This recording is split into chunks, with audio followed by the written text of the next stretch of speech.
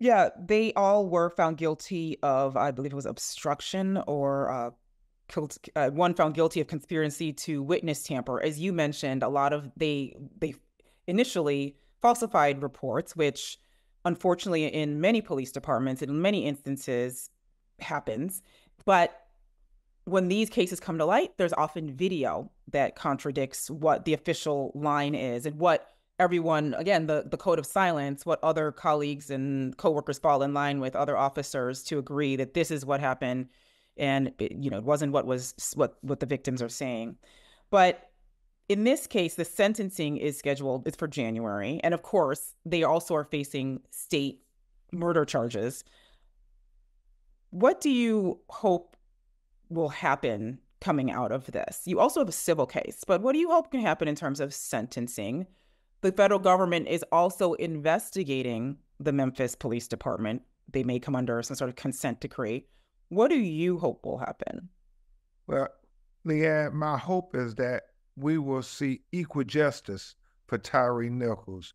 And that is whatever the judge would have sentenced Tyre Nichols, this young black man, had he beat down and brutally engaged in excessive force against a police officer, what would have been his sentence?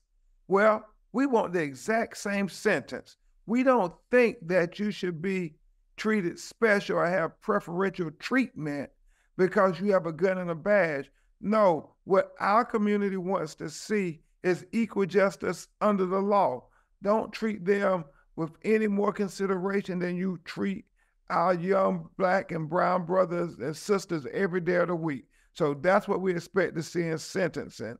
And the state attorney, the elected district attorney there in Memphis, has already told the family and my legal team that if the federal court does not sentence them appropriately, then we're waiting and ready to go forward with our state charges of second degree murder and lesser included charges.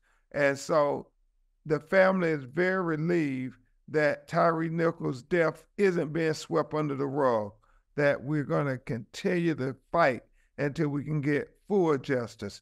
That is, convictions in the felony case, convictions in the state case, as well as accountability in the civil action for his son, who is now going to grow up without his father.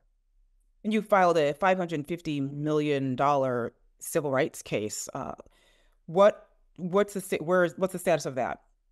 Well, we we certainly plan on sending a message because these officers, I mean, it seemed like had Tyre not died, this would have been business as usual.